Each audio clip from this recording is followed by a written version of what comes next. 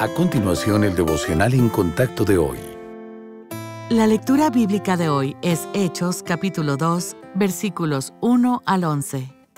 Cuando llegó el día de Pentecostés, estaban todos unánimes juntos, y de repente vino del cielo un estruendo como de un viento recio que soplaba, el cual llenó toda la casa donde estaban sentados, y se les aparecieron lenguas repartidas como de fuego, asentándose sobre cada uno de ellos y fueron todos llenos del Espíritu Santo, y comenzaron a hablar en otras lenguas, según el Espíritu les daba que hablasen. Moraban entonces en Jerusalén judíos, varones piadosos de todas las naciones bajo el cielo. Y hecho este estruendo, se juntó la multitud, y estaban confusos, porque cada uno les oía hablar en su propia lengua.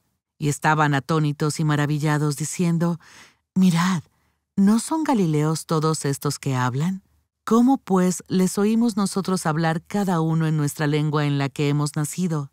Partos, medos, elamitas, y los que habitamos en Mesopotamia, en Judea, en Capadocia, en el Ponto y en Asia, en Frigia y Panfilia, en Egipto y en las regiones de África más allá de Sirene, y romanos aquí residentes, tanto judíos como prosélitos, cretenses y árabes, les oímos hablar en nuestras lenguas las maravillas de Dios. Pentecostés se asocia más a menudo con la llegada del Espíritu Santo, pero también demuestra la extraordinaria capacidad de Dios para redimir. Para entender cuán asombroso fue Pentecostés, debemos remontarnos a Génesis 11, cuando todos usaban una sola lengua y el pueblo era uno. Su problema no era la unidad, sino la adoración a sí mismos. Dios había dicho que llenaran la tierra, pero en lugar de eso construyeron una ciudad y una torre para hacerse un nombre y evitar la dispersión. Solo después de que Dios confundiera sus lenguas en Babel, se dispersaron como Él había ordenado. Pentecostés ofrece un contraste asombroso. Los discípulos esperaron en Jerusalén como les ordenó el Señor.